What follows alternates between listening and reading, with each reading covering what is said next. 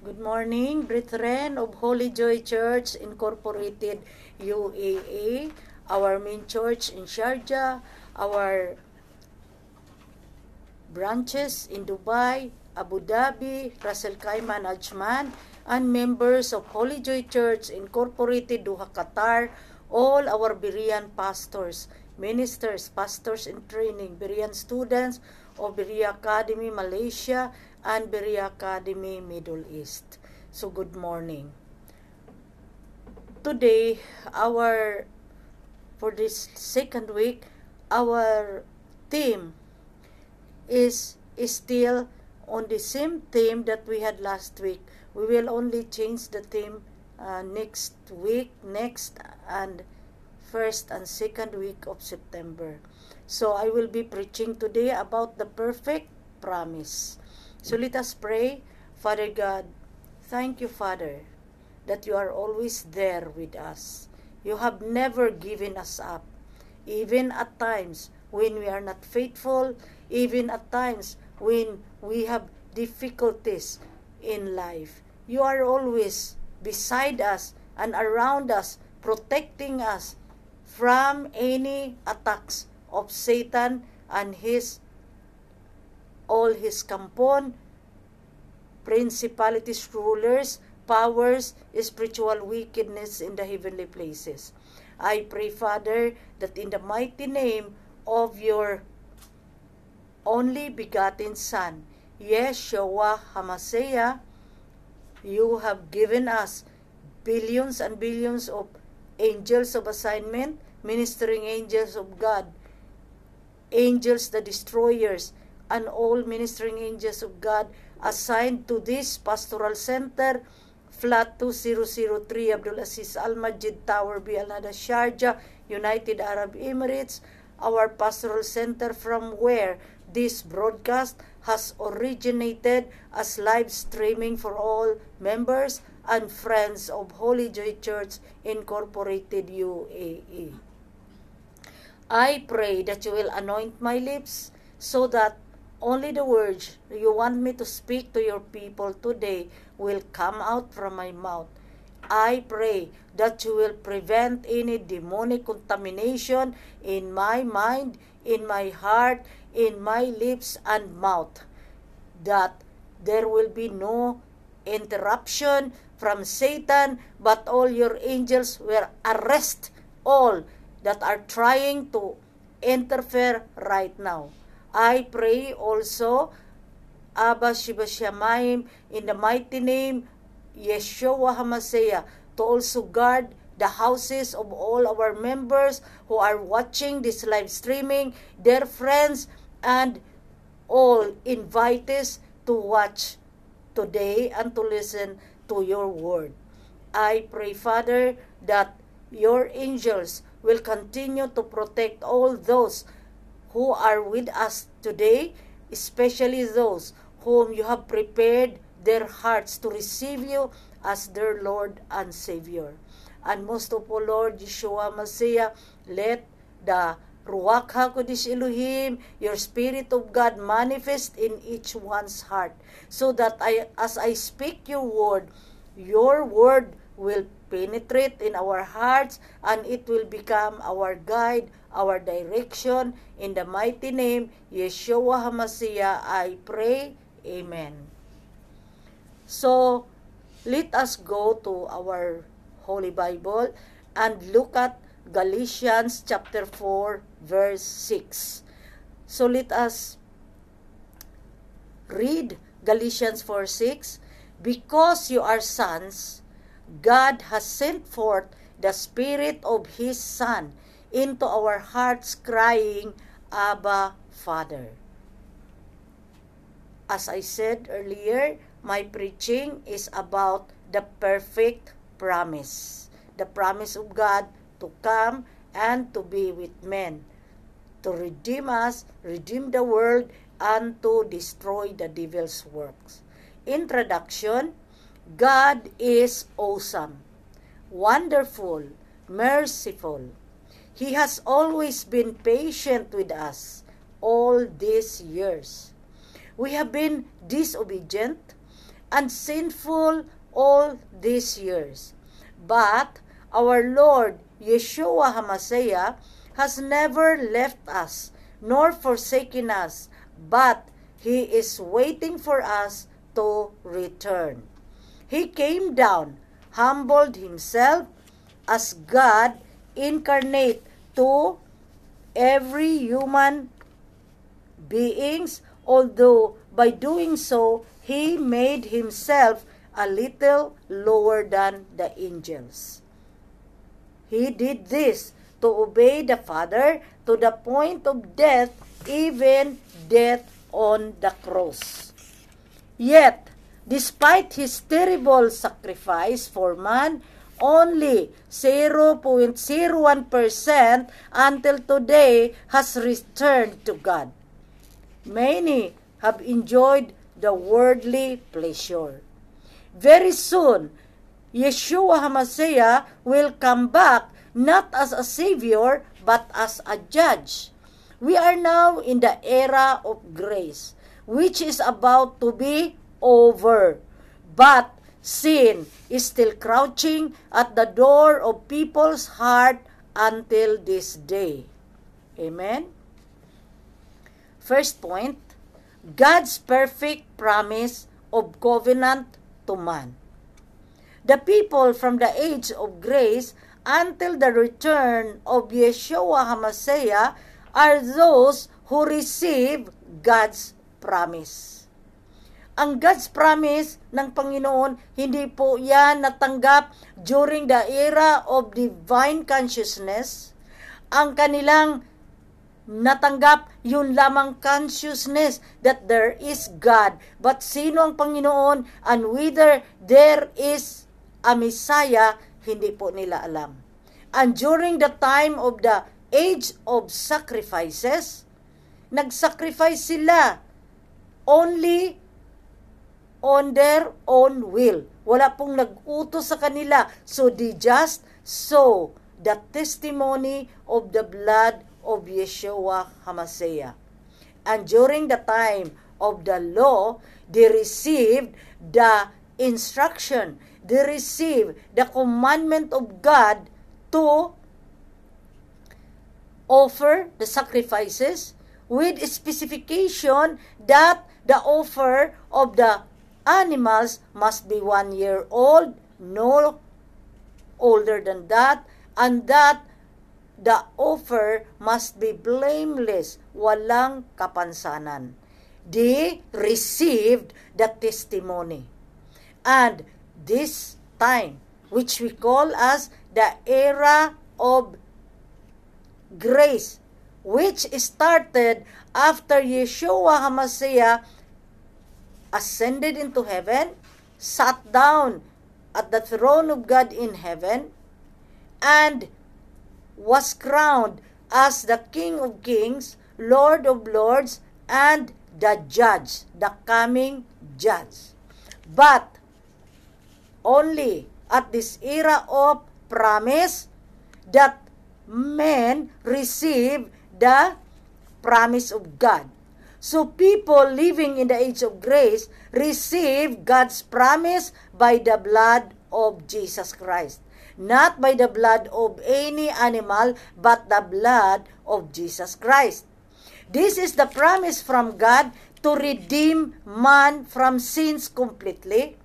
And it is the perfect covenant of God with man to atone man from our sins forever.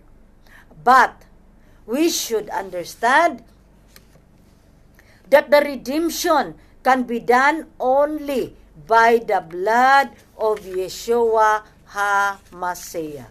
No other. Not the blood of animals, not the blood of any other man, but only the blood of the Son of God, Yeshua HaMashiach, can atone our sins. From the age of divine consciousness to the age of sacrifices and the age of the law, mankind has offered thousands and thousands of animal blood to God. But without the blood of the Son of God, who restored the name of God, destroyed the devil's works, and assured eternal life to man, there will be no remission of sins by the perfect covenant of God. Hebrews chapter 9 verse 22 And according to the law, one may almost say, all things are cleansed with blood, and without shedding of blood, there is no forgiveness. So intindihin natin that without the forgiveness of Yeshua HaMashiach, the only begotten Son of God, man cannot receive the forgiveness of God. We cannot go back to the fold of the Father. And most of all, and the most important, we will not be able to enter the New Jerusalem, but we will be thrown into the lake of fire. So yan po ang mga consequences. There is no other name under heaven given among men by which we must be saved. Only Jesus can forgive our sins. We are different from the people of the time of the law because the believers in the past whose spirit is dead but their faith remains alive will be judged at the final judgment. So lahat po na mga ipinanganak before the time of Yeshua HaMashiach, namatay during their time without seeing the Lord Yeshua HaMashiach, even though during the time of the era of law, they received the promise, but they will undergo the final judgment. Those who will not, those who, do, who died without believing in God, they would be immediately thrown into the lake of fire. Amen? But we Christians, under the age of grace, we have already received the blood of Jesus Christ when we receive Him as our Lord and Savior. So, I will emphasize, maraming ayaw tumanggap. Dahil sabi nila, mag-enjoy muna kami sa mundo dahil ayaw naming mag-born again. Pag nag-born again ka, maraming bawal. Kaya lang tayo binawalan ng Panginoon upang tayo ay magiging malinis dahil wala pong nakakaalam kailan matatapos ang ating buhay dito sa mundo. Eh kung hindi ka magising, katulad ng nangyayari ni Rico yan na namatay sa kanyang uh, nung siya'y natutulog. O, paano siya makahingi ng tawad ngayon? That's why tayo ay in-encourage ng Panginoon every day to prepare ourselves so that anytime babalik siya, anytime that we will rapture, we will be able to meet the Lord and to enter the new Jerusalem. Therefore, This is exactly the reason that the Holy Spirit will take over our life and seal us for redemption for the day of judgment. Amen? Pag natanggap na natin ang ating Diyos na buhay, He would, we would receive the promise of God in full. And we have already been justified by faith. Kaya, kung ganyan ang ating sitwasyon, Holy Spirit will immediately enter us. Kaya sinasabi natin na kung maborn naging tayo, we will receive the banal na Espiritu ng Panginoon dahil ang banal na Espiritu will be the one. Silyuhan tayo upang hindi tayo manakaw ni Satanas. Maliban lang kung natempt tayo ulit at iniwanan natin ang ating pananampalataya ni Kristo. Tandaan ninyo yan, yun lang. Ephesians chapter 1 verse 13, In Him you also, after listening to the message of truth, the gospel of your salvation, having also believed, you were sealed in Him with the Holy Spirit of promise. Ito pong banal na spirito, ito pa ang promise ng Panginoon sa atin. On the day Yeshua HaMashiach died for the sin of disobedience that was passed down from Adam to all humans, all people after the time of Yeshua HaMashiach were free of their sin. This sin of disobedience is now over. Dapat natapos na yan dahil namatay na siya sa cross at dinala na niya ang lahat ng mga curses at mga sakit na nakuha natin mula ni Satanas after nagkakasala ang tao ng sin of disobedience. So dapat we are free. But ano ang nangyayari? Because all of us, after the time of Jesus, have no sin anymore, the Holy Spirit comes to believers. That's why, sabi natin, pag tinanggap natin ang Panginoon, ang banal na espiritu papasok sa ating puso. Bakit? We are supposed to be free. Wala na tayong kasalanan dahil nga inoffer na niya yan doon sa cross ng Calvary. But, ano ang nangyayari? What happens is, death still remains. And the death is due to our intrinsic and personal sins. So, the death of the spirit continues. Kaya patuloy ang pagkamatay ng espiritu ng tao dahil after tayo binigyan ni Lord ng karapatan na mabuhay, binigyan tayo ng Panginoon ng freedom from the sin of disobedience, patuloy nagkakasala ang tao. Patuloy nag-inuman Patuloy nagsigarilyo. Patuloy nangangalunya. Patuloy nagnanakaw ng time sa office dahil ginawa text, text, text. Amen? Second point, the Spirit lives by the life of Christ. When man sins, his spirit died. But Christ did not raise our spirit to life. Hindi po binuhay ni Lord ang ating spiritong patay after nagkakasala si Adan. He is living inside us. Kaya lang sabi natin na nagkakaroon tayo, may hinanda si Lord na eternal life because siya na po ang nananahan sa atin. Kaya nga, papasok agad ang banal na spirito dahil espiritu yan ng ating Diyos na buhay. So, He is inside us. We are living by His life now. So, we become new. We are now living by the life of Christ. In the time of the law, the blood of animals were shed.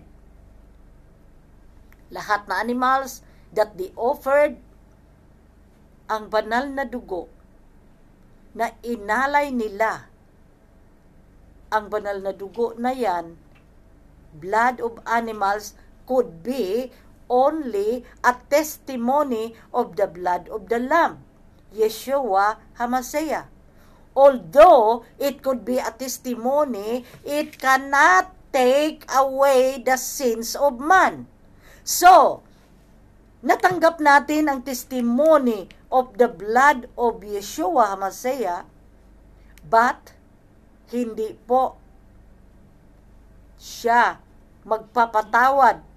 Meaning, hindi natin matanggap ang forgiveness ng Diyos sa pamagitan ng, ban, ng mga dugo ng inofer, inalay na mga animals. Bakit kaya, Bishop?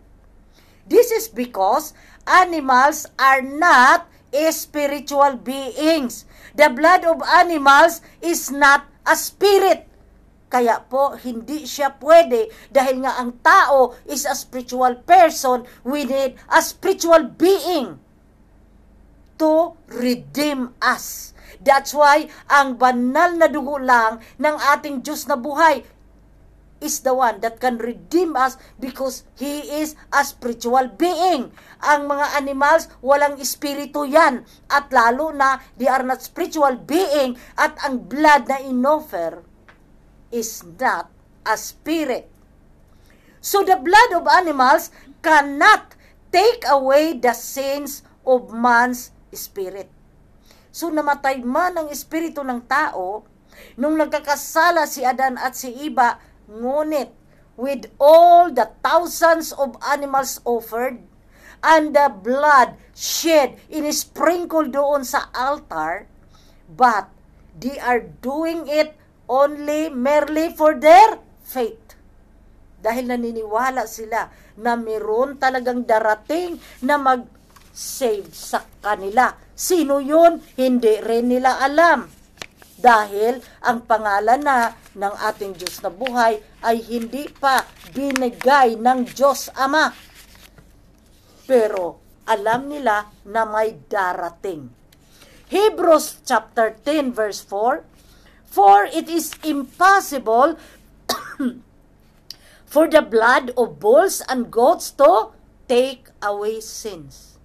But though they keep on offering sacrifices on a yearly basis, their spirit is still dead due to the inherited sins from Adam. Sinabi ko na kanina, hindi binuhay ng Diyos ang created spirit na binigay niya kay Adam at namatay because of the sin of disobedience. So, patay pa rin ang espiritu ng kasalanan. The spirit which we inherited from Adam remains dead. For the people in the age of sacrifices, their faith remains alive. But in the era of grace, our time now, not only is the people's faith alive, but their spirit is also alive. So tandaan natin ang pagkakaiba. People in the past, nag-aalay na sila ng dugo ng mga animals that they offer by the thousands and yet ang spirito nila patay pa rin. Ang kasalanan nila hindi pa rin natanggal. Ngunit, ano ang pagkakaiba? This is the era of grace. And dahil sa grace ng Panginoon, tayo, binigyan niya ng sarili niyang espiritu. Hindi man binuhay yung espiritong patay na, the created spirit, ngunit ang espiritu natin ngayon, na natanggap natin nung tinanggap natin ang ating Diyos na buhay as our Lord and Savior, and ang ating buhay ngayon ating espiritu is now alive at ang espiritu na yan nanggaling mismo sa Diyos, dalawa po ang nangyayari. We have the Spirit of God which is alive. And ano ang pangalawa? Our faith is alive. Sinabi ko kanina na wala nga, patay nga ang espiritu in espiritu sa mga tao who died, who lived and died in the past.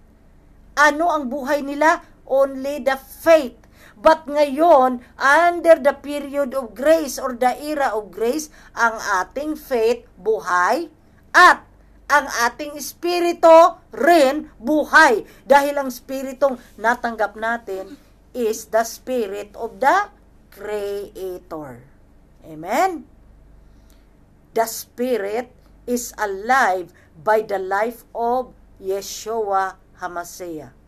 It is living by the life of Yeshua Hamasea. John chapter 11 verse 25, Jesus said to her, I am the resurrection and the life. He who believes in me will live even if he dies. Amen. Third point, people of grace receive the promise. Yun lang, mga tao katulad natin na andito ngayon, nananahan sa mundo under the era of grace. Tayo lang ang nakareceive ng grace mula sa Panginoon. In-explain ko in my past preaching na ang grace, ibig sabihin, gift. Ano ang natanggap nating gift? Ang salvation. At ano pa? Parating na eternal life when we enter the dwelling, heavenly dwelling place of God, ang New Jerusalem, matanggap din natin ang eternal life. So dalawa po ang matanggap nating gift mula sa ating Diyos na buhay. So the people before Yeshua HaMashiach and the people after Him, tayo yun, are completely different. The people in the age of sacrifices and the age of the law, their faith is alive through though their spirit is dead. Alive ang kanilang pananampalataya pero patay ang kanilang espiritu. The people in the age of sacrifices saw the testimony of their faith through the blood of the animals they have slaughtered, while the people in the age of the law have received the testimony of the blood through the commandment to sacrifice animals they have received from God. This covenant that they would be saved is alive. By the way, I will remind lahat ng mga pastor, lahat na nag-aral ng Berea, tandaan ninyo ito dahil isa po ito sa oral exam ninyo bago kayo ma-ordain. Wala pong repetition dito sa Berea. 'Di ba? Pag nag-aral ka dito at mahulog ka sa exam, there is no repetition. Isang bisis lang. Ganon din ang ating tinatawag na ordination. Bakit ka naman i-ordain kung hindi mo alam ang katuruan ng Berea?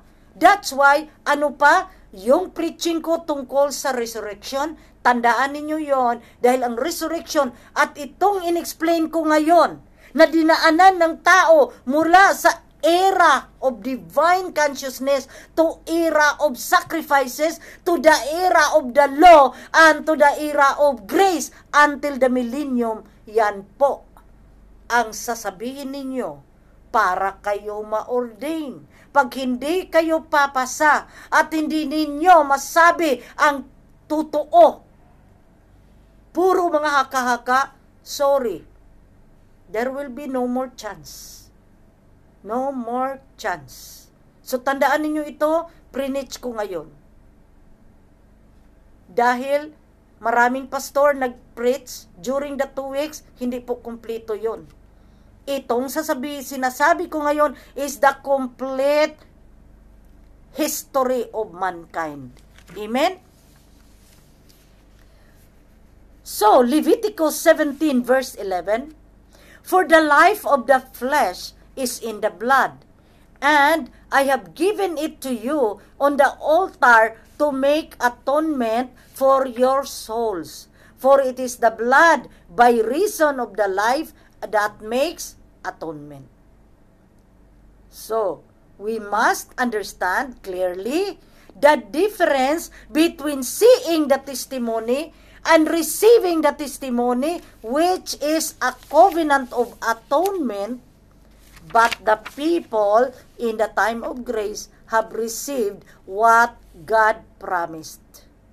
Kailangan during the exam, ma-identify mo at masabi mo ang pagkakaiba sa nangyayari sa buhay ng tao during the different eras, biblical eras in the life of man. They have received the promise of salvation the people in the age of sacrifice and the age of the law are the ones to be saved in the future.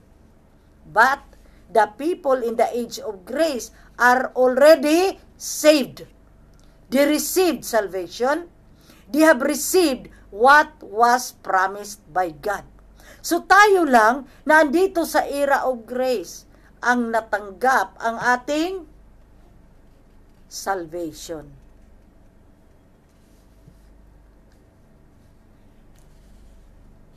John chapter 11 verses 25 to 26 Jesus said to her, I am the resurrection and the life. Who believes in me will live even if he dies. Verse 26, and everyone who lives and believes in me will never die. Do you believe this? Saan sinabi ni Lord ito?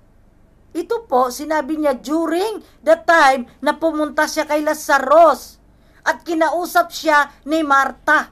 Kaya sabi ni Marta at doon kay Mary na kanyang kapatid na siya ang buhay at siya rin ang pagka pag, pagkabuhay, resurrection.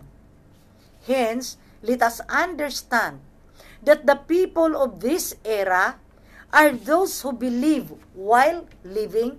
They are alive and they believe. Walang ibang tao po, tayo lang. Na while we are living, nabubuhay tayo, ang ating espiritu ay buhay at ang ating pananampalataya is also buhay. Hindi patay.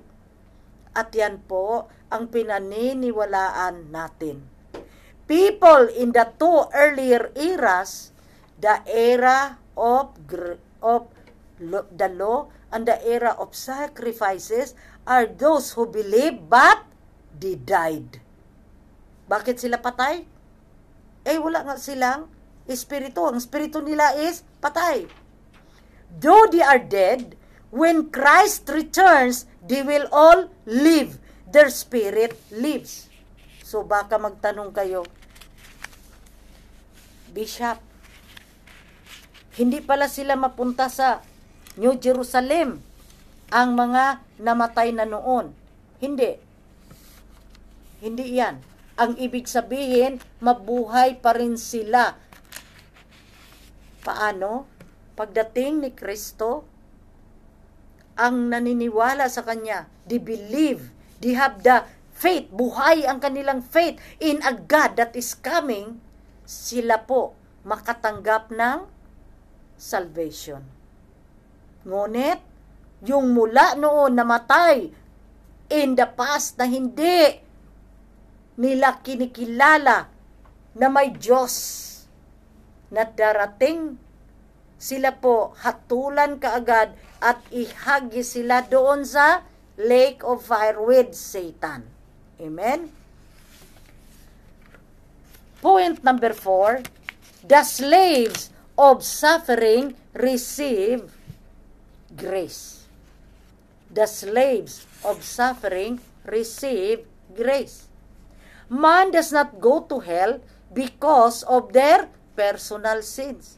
So ano lang pala ang kasalanan na maitapon tayo sa impyerno, sa lake of fire, kung ang ating kasalanan is the inherited sins of Adam. Paano yan? Namatay na ang Panginoon, pinako na sa cross, sinave niya tayo dahil ang ating mga kasalanan, ang ating mga curses at mga diseases ay dinalanan niya nung siya ay ipinako ng cross. Ngunit, kung hindi natin kilalanin siya, na siya talaga ang anak ng Diyos na buhay.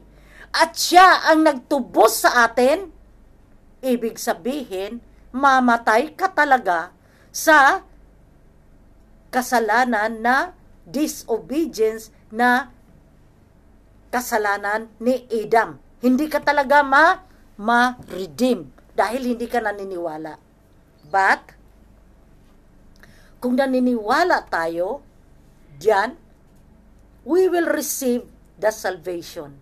Dahil sabi nga, wherever the Spirit of God is, there is freedom. So magkakaroon tayo ngayon ng freedom from being thrown into the lake of fire, freedom from all diseases and curses, and freedom from the punishment of God. Yan po ang ating matanggap dahil naniniwala tayo na siya ang ating Diyos at tagapagligtas. So kailan, kailan ka mamatay sa sin of disobedience? Kung namatay ang tao na hindi siya tinanggap bilang Diyos at tagapagligtas at sila'y namatay na, there is no more hope, there is no more opportunity. Amen? Everything starts with the sin of Adam. Since Adam dies, all men after him die eternally. In other words, our spirit is dead because of the original sin. But if anyone abandons his faith because of personal sins, that it will also lead to eternal death. I-repeat ko, ang sin ni Adam, which is inherited, yun lang ang makapagpatapon sa atin doon sa lake of fire. Ang ating personal sins, intrinsic sins, hindi po siya maghatid sa atin sa lake of fire. However, na born again ka na nga. Nag-backslide ka dahil bigla mong na meet si Habibi na na-in love ka at nagpa-convert ka ngayon ng another faith, hindi ko na lang i-mention, but alam mo na yan hindi ang totoong born again. Nag-convert ka ngayon sa kanilang religion dahil sa ka-in love, in love mo, para ka mapakasal doon sa lalaking na inlaban mo or babaeng na inlaban mo, Anong ibig sabihin? Nagkakasala ka ngayon ng personal sins. But although sinabi ko ng personal sins na yan, hindi magdadala sa atin sa lake of fire, ngayon dadalhin ka. Dahil kasi, nakilala mo na ang Diyos, ni-reject mo ngayon, tinalikuran mo siya. Anong ginawa ni Adam? Si Adam, tinalikuran niya ang Diyos noong nagpakita sa kanya ang serpente ang spirito ni Satanas. Therefore, bakit ka ngayon mapunta sa lake of fire? Sabihin ko, our spirit was oppressed by the sin of Adam. But, Jesus carried our original sins. He paid our sins. So, everyone, after the time of Yeshua HaMashiach, is freed from the burden of sin. I-repeat ko, nung tayo po ay sinave ng Panginoon doon sa sa cross ng Calvary, dala niya ang kasalanan ng disobedience of Adam at dala din niya ang mga curses, diseases na natanggap natin sa kasalanan na yan, we are already considered free free na tayo.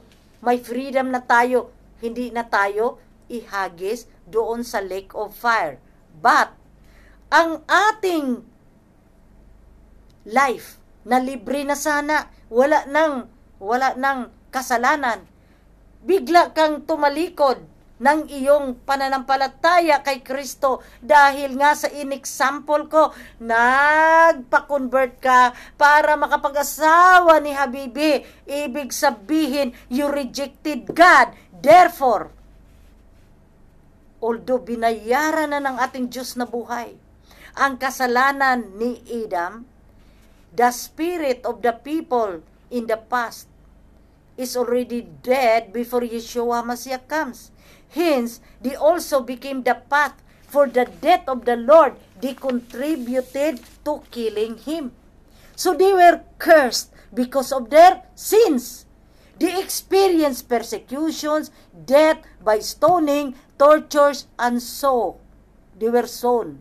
So the people in the past can be called the slaves of suffering. Naalala niyo ang title natin ganina? The slaves of suffering receive grace na-receive nila ang grace, but they were, tawag, slaves of suffering. Why? Dahil sa kanilang pananampalataya. Hindi nila sinurrender ang kanilang paniniwala na may Diyos na buhay. although hindi nila nakita si Kristo. Kaya naawa ang Diyos sa kanila, they will be saved. Hebrews 11:36-39 Ito po ang nangyayari sa kanila na mga persecution during their time and others experienced mockings and scourgings. Yes, also chains and imprisonment. They were stoned. They were sown into. They were tempted. They were put to death with the sword. They went about in sheepskins, in goatskins, being destitute, destitute, afflicted, ill-treated. Men of whom the world was not worthy. Wandering in deserts and mountains and caves and holes in the ground. And all this, having gained approval through their faith, did not receive what was promised. That is the history of the people in the past. But the people in the past prepared the way for man to become sinner. Paano sila na sinner? Eh, di ba sila ang cause na namatay ang Panginoon? Nagsabi sila, crucify him, crucify him, crucify him. Kaya ipinako siya ng cross. Through Yeshua HaMashiach already, do Yeshua HaMashiach already carried our sin, inherited sin na nanggaling kay Adam, and our spirit died, but when our Lord Yeshua HaMashiach came, the death of Yeshua HaMashiach is the merit of the people in the past because their faith in suffering for God was made complete with the death of the Lord. Amen? Hindi nila nakilala si Diyos, ang Diyos. Hindi nila nakilala si Yeshua HaMashiach. But nung dumating ang Panginoon at namatay siya, ang kamatayan ng ating Diyos na buhay, na complete ngayon ang pananampalataya ng people of the past. Why? Namatay nga ang pinaniniwalaan nila na may darating na mag-save sa kanila. Nangyari na. So, they are now saved. Kasama siya sa atin na magkakaroon ng salvation. Although, I repeat, hindi nga nila nakilala si Jesus nung time na yun. Even those who disobeyed and died during the time of Noah, the death of the Lord became their gospel that preserved their spirit in prison. Di ba, prinitch ko ito sa nagdaan na mga preaching ko na bumaba ang Panginoon sa mga descendants of Adam na nagkasala, di married the daughters of men na walang espiritu, sila nakulong, kinulong sila, and in prison, nag-preach ang ating Panginoon. So, the, the death of Yeshua Mashiach became the gospel for them to be saved. Hence, it became salvation to those who call upon the name of the Lord. Amen? 1 Peter 4 6 For the gospel has for this purpose been preached even to those who are dead, that though they are judged in the flesh as men, they may live in the spirit according to the will of God. Amen? Fifth point, and the last one, the sin of unbelief drags soul to hell. When Jesus died, people in the past were already dead because of their original sins from Adam. So, he did not need to die for their sins because when Yeshua HaMashiach arrived, they were already dead. After Jesus resurrected, his life entered them in order for their spirits to live through though they already died because of sins. So, sinabi ko kanina, di ba bumaba siya, pumunta siya doon sa mga na preso. Put in prison dahil di disobey during the time of Noah that caused God to destroy them through the flood. Nung nag-preach siya, lahat na nakakilala sa Kanya doon at tumanggap sa Kanya, ano ang nangyayari? The Spirit of Yeshua HaMashiach entered into their spirit, so they received also salvation. Amen? People after Jesus who are under the era of grace, tayo yon. They perished because of their unbelief. Hindi tayo namatay dahil sa kasalanan ng disobedience dahil nga tinubos na tayo ng Diyos but dahil sa ating unbelief. Hindi tayo naniniwala. Di ba maraming hindi naniniwala sa Panginoon? Nag-insist na ang kanila daw religion, yun daw ang magpapadala sa kanila doon sa langit. There is no other name under heaven that will give us salvation. Only the name, Yeshua HaMashiach. Amen? So, ano ang kasalanan sa mga tao ngayon? Unbelief, hindi nanin, nanampalataya kay Kristo. The people after Jesus who have sins, but Jesus carried their sins, only unbelief remain. Sinib na sana sila ng Panginoon, hindi nila matanggap ang kaligtasan dahil hindi nga sila nananampalataya na si Jesus ay anak ng Diyos na nagbigay sa kanila ng kaligtasan. Jesus fulfilled their faith. By shedding His blood, Jesus made the faith of the people in the past perfect. So kung tingnan mo sa mga tao ngayon na may unbelief, hindi naniniwala sa ating Diyos na buhay, i-compared sa mga tao noon that their faith was alive. But nung nagkip, nagpakita ang Panginoon after He resurrected in paradise, tumanggap sila, sila pa ang may salvation kaysa tao ngayon na nakita na sana nila ang Panginoon at hindi naniniwala. So mag-careful po tayo, lalo na ang ating mga bibig, na magsabi ka, ay hindi ako naniniwala, talaga, mapunta ka talaga sa impyerno. Huwag nating gamitin ang ating bibig. Dahil nakikinig yan ang Panginoon. Amen? Jesus fulfilled their faith by shedding His blood. Jesus made the faith of the people in the past perfect. So, in the age of grace, if you believe in Yeshua HaMashiach, you already have salvation, and you will receive eternal life when we enter the New Jerusalem, which is the heavenly dwelling place of God. If you don't believe, then you stand condemned.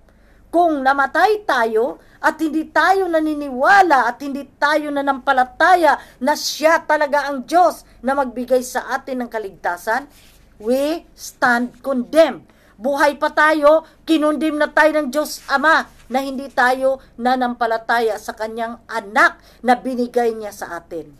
John 3:18 He who believes in him is not judged. So, tayo na nanampalataya sa kay Kristo, may judgment pa ba? Wala. John 3:18, i-repeat ko, he who believes in him is not judged. He who does not believe has been judged already buhay pa. Kaya tingnan mo yung mga testimony dyan sa YouTube. Buhay pa ang tao, nakita na nila ang kaluluwa na naghirap doon sa impyerno. Ha, hinatula na kasi ng Diyos Ama. Because he has not believed in the name of the only begotten Son of God. Therefore, he already stands condemned. If the people in the past believe, they will be saved. So mabuti pa ang hindi na buhay ngayon. Yung sila ay people in the past dahil lahat na naniniwala in the period of in the era of the law and the era of divine consciousness and the era of sacrifices when they believe they will be saved. If they don't believe they will be judged as the at the final judgment. So, kung meron noon na hindi naniniwala, patay na sila, buhayin na lang sila ng Panginoon, During the resurrection, magpila sila sa harapan ng Diyos so that they will be judged. So ano ang judgment dyan? Ihagi sila sa dagat-dagatang apoy kasama ni Satanas. Galatians chapter 4 verse 6, yung scriptural verse natin na binasa ko kanina, Because you are sons of God, God has sent forth the Spirit of, the, of His Son into our hearts, crying, Abba, Father. Amen? Today, Yeshua HaMashiach is calling you not to remain in unbelief that is killing people after the time of Yeshua HaMashiach. I-repeat ko, ang unbelief, yun po ang magpatay sa atin dahil sigurado tayo na ihagis tayo sa dagat-dagatang apoy. Kung mamatay tayo na hindi man lang nakahingi ng tawad ng Panginoon at hindi tumanggap sa Kanya bilang Diyos at tagapagligtas. To God. Ito na ang reason. Bakit siya itapon sa impyerno pag hindi nanin, nan, nanampalataya at nagpaiwan sa pagka sa unbelief to God, the sin of unbelief, of turning a deaf ear to the word of God, and staying away from the Lord Yeshua Mashiach is a grave sin. Napakalaking kasalanan. Bakit kaya, Bishop? Because the sin of unbelief killed Yeshua HaMashiach lahat na hindi na nanampalataya sa Kanya during the time in the past, yun po ang nagpapatay sa ating Diyos na buhay. God considers the sin of unbelief under the age of grace as same as the sin committed by Adam against God. Ah, yan pala ang kategory. Ang kasalanan natin ng unbelief. I-consider na ngayon ng Panginoon na similar sa epekto ng sin of Adam of disobedience. So, hindi na siya ngayon magiging personal sin. Originally, unbelief, original sin. But, God will consider it the same epekto sa sin of disobedience, the sin of disobedience of Adam. So, man spirit continued to die of sin until today, and unless he surrenders his unbelief to God today, there is no other hope left but for his soul to be tormented in the hell fire. May I invite you now, every one of you, who has not received Yeshua HaMashiach yet as their Lord and Savior, Isang bagay lang ang dapat nating isurrender. To surrender your unbelief. There is no other way to go but to the back to the Father and to heaven but only through the one and only Holy One of Israel. John 14 verse 6. Jesus said to him, I am the way and the truth and the life. No one comes to the Father but through me.